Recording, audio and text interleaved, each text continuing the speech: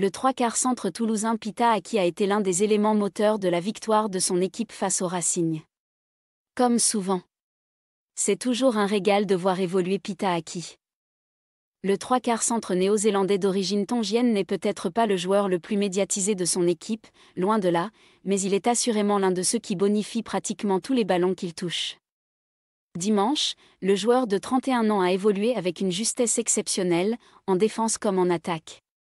On l'a vu stopper net le champion du monde sud-africain Sia Colisi à 2 mètres de la ligne d'embut d'un plaquage aux jambes destructeur, Réaliser une percée magistrale avec feinte de passe, raffut puis passe intérieure à Mathis Lebel en amont du deuxième essai toulousain de ce même Lebel 34e, ou encore inscrire lui-même le quatrième essai des siens en franchissant en force et avec beaucoup d'explosivité le dernier rideau francilien 69e. Pita, on ne le présente plus, s'enthousiasme le capitaine rouge et noir Antoine Dupont. C'est un joueur de très haut niveau, très complet dans son jeu. Il peut réguler la ligne de défense, asséner des plaquages offensifs, contester des ballons au sol, gagner ses duels, briqueur, et même mettre du jeu au pied. Quand il est dans cette forme-là, il fait avancer toute l'équipe. On l'a vu gagner quasiment tous ses duels. J'espère qu'il gardera cette forme-là encore longtemps.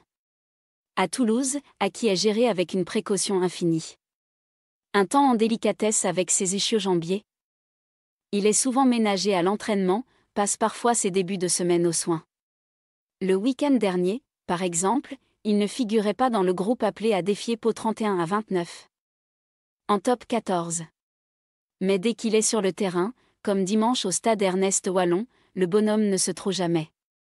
Il fait partie de ces joueurs, comme Richie Arnold, qui nous viennent de très très loin et qui ont cette capacité à répondre présent dans les rendez-vous qui comptent, observe le manager toulousain Hugo Mola. Pita donne le ton à des moments du match où ce n'est pas toujours très simple. Vous savez, je ne suis pas sûr que beaucoup d'équipes auraient été ravies de prendre le Racing à domicile en huitième de finale. Face à un tel adversaire, tout ressemblait à un piège. Il fallait donc qu'on puisse s'appuyer sur nos gros joueurs d'expérience pour s'en sortir. Et Pita en fait partie.